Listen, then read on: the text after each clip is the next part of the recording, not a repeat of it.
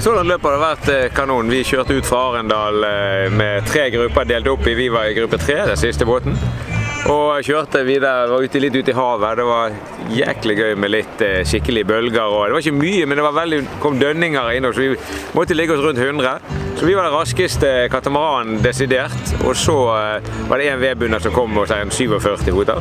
Så fikk vi en fantastisk kjøring innimellom, faktisk rolig, innimellom i fem knop og se her nede. Så fikk vi kort der og kjørte ut inn i havet og tilbake til lunsjen.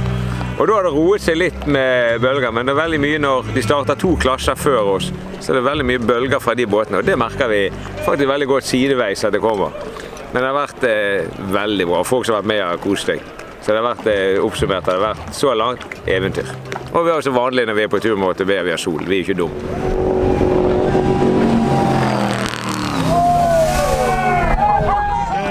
Båten? Ja, den fungerer 110 110 Jeg fikk litt problemer, eller problemer, men jeg syntes den var litt nøkkete på servoen i stor fart. der. Du sa til Ronny at dette er ikke så komfortabelt når rattet ikke vil være med venn med meg. Men jeg tror det var litt luft, bare alt er OK det nå, så vi, eh, det her skal vi bare gønne på.